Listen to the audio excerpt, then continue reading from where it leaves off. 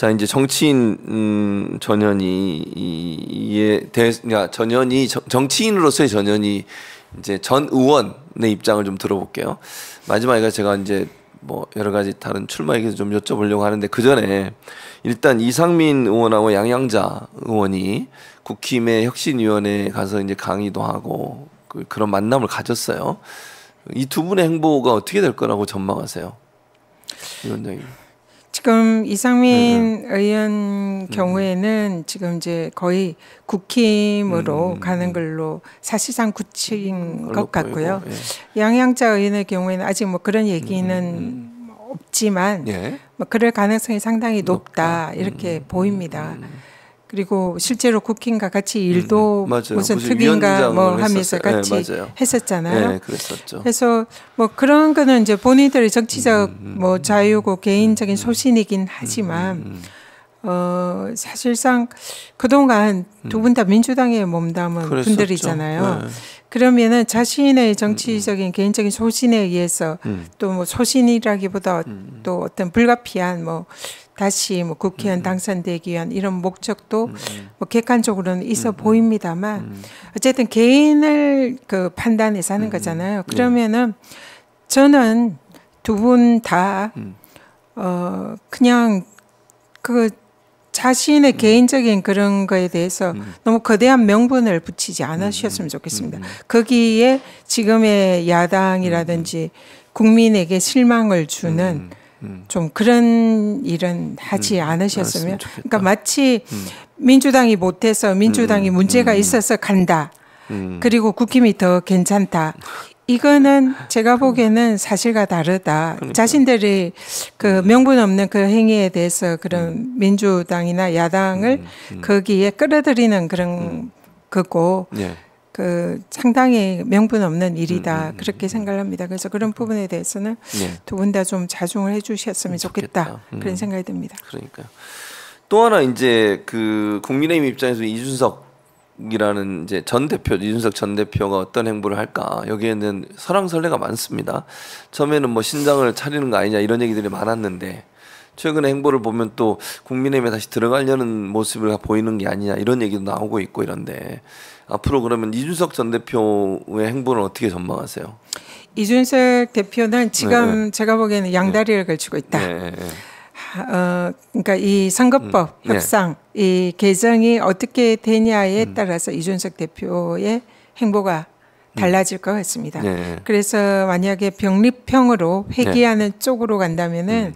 국힘 쪽에 잔류해서 음.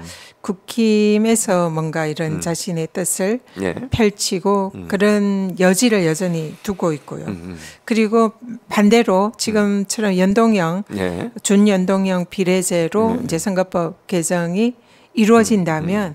그러면 사실상 이제 비례 위성 정당도 가능하잖아요. 그렇죠. 그러면 뭐 그 뭐 한 2, 30석은 어 만들 수 있다 뭐 이런 이제 분석들이 있는데 그걸 하는 거는 또 본인에게는 음. 이제 뭐 나쁘지 않은 음. 선택이라고 보고요. 네. 그래서 그 선택을 할 수 있는 여지도 여전히 음. 남겨두고 음. 그래서 지금은 어, 양다리를 걸친 채 음, 음. 전략적 모호성을 취하고 있는 게 아닌가 이렇게 어, 생각이 됩니다. 예. 네.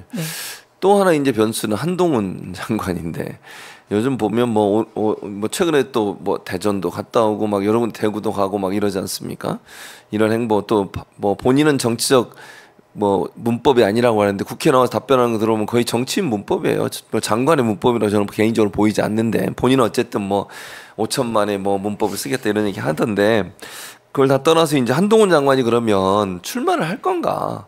요즘 보면 출마하는 쪽으로 좀 많이 더 기운 것처럼 보여지는데 행보를 보면 위원장님도 그렇게 분석하세요? 어떻습니까? 어, 일단은 정치를 음. 이미 시작했다고 보고요. 그리고 지금 하는 행동은 공무원의 정치적 중립성을 위반한 위반. 예. 그런 행위로 그렇죠. 해석될 여지가 음, 많습니다. 음, 음, 그리고 만약에 정치에 출마할 생각이라면 예. 뭐 예를 들면 비례대표 출마 음. 생각이 있다면 지금 전국을 다니면서 하는 이거는 일종의 사전 선거 운동에 음. 해당될 소지도 있어 보이고요. 예. 그래서 지금 국무 위원이라는 법무부 현직 법무부 장관, 법무부 장관은 뭡니까 이거 법을 지켜야 되고 법을 그렇죠. 수, 수호해야 되는 그런 있죠. 자리잖아요. 예. 누구보다도 법을 지켜야 되고 공무원의 정치적 중립성을 지켜야 되고 선거법을 지켜야 되는 그런 자리입니다. 근데 이것도 아까 말씀드린 일종의 합법을 가장한 탈법일 수도 있는 거예요. 만약 이분이 출마할 생각이 있다면. 네. 그래서 어 정말 지금 그런 게 정치적 행보라면 저는 솔직해질 필요가 있다. 당장 옷을 벗으시고 출마 예. 선언을 하시고 그런 행보를 하셔야 되고 그게 아니라면 나는 정치에 출마하지 않는다. 그렇지만 내가 이- 이렇게 하는 거는 법무부의 법무 행정을 위해서 법무부 장관으로서 할 일을 하는 거다. 그러니까 나의 출마하고는 전혀 상관없고 출마 않는다. 이런 표시를 하셔야 그 행위에 대한 정당성이 인정될 거다 생각합니다. 저렇게 실컷 전국을 다니면서 예. 더구나 현지 예. 공무원 입장에서 예.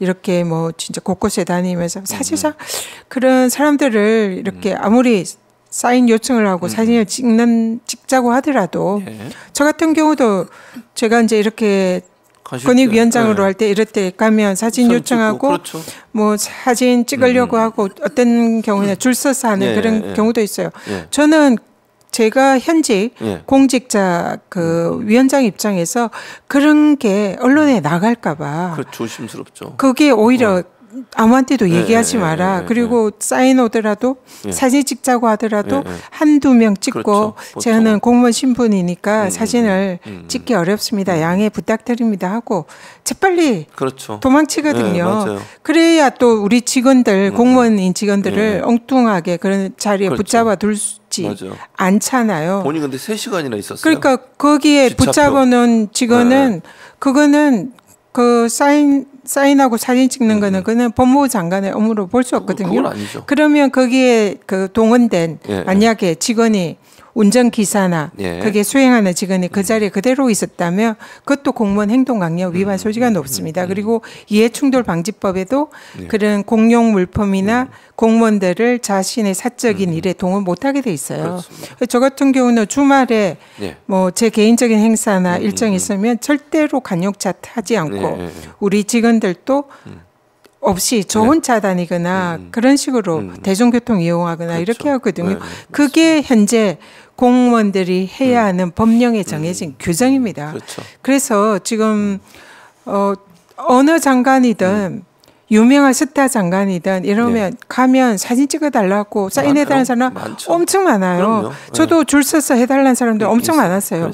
한 번도 저는 그런 행동을 음, 한 적이 없습니다. 그리고 혹시나 이런 게 기사에 날까봐 조심스럽죠. 기사에 나면 네. 이거는 음. 공직자로서 여러 가지 문제가 있을 수 있기 때문에 기사 못 나가게 사진 못 찍게 음, 네. 그런 식으로 그게 정상이거든요. 정상이죠. 이해가 안 됩니다. 그러니까요. 지금 네. 한동훈 장관의 모습은 이해가 안 돼요. 네. 정상적인 공무원의 모습이라고 볼 수 어려울 것 같고